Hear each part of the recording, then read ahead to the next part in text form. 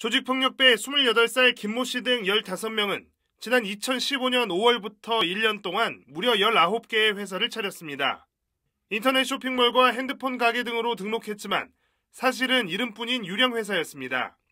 이들은 실제 거주하지도 않는 원룸 건물에 주소를 두고 법인을 설립했습니다. 이들은 유령 회사 이름으로 모두 71개의 대포 통장을 만들어 대량 유통시켰습니다. 개당 130만 원에 보이스피싱 조직과 도박 사이트 운영자 등에게 날개 돋친 듯 팔려나갔습니다. 취업 준비생이나 생활고를 겪는 사람들의 명의를 빌려 유령 회사를 차리는 등 철저하게 신분을 감췄습니다. 노숙자나 온라인 거래 등 기존 방식으로 대포 통장 개설이 어려워지자 유령 회사 설립을 찾아낸 겁니다.